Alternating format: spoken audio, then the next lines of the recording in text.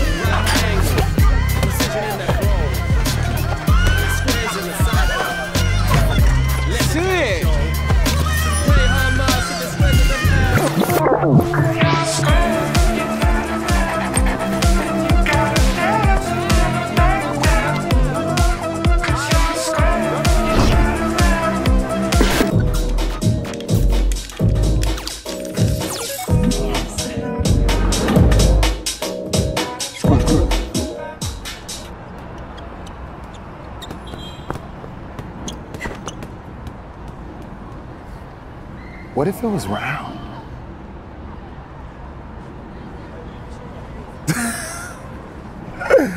nah, that'd be crazy.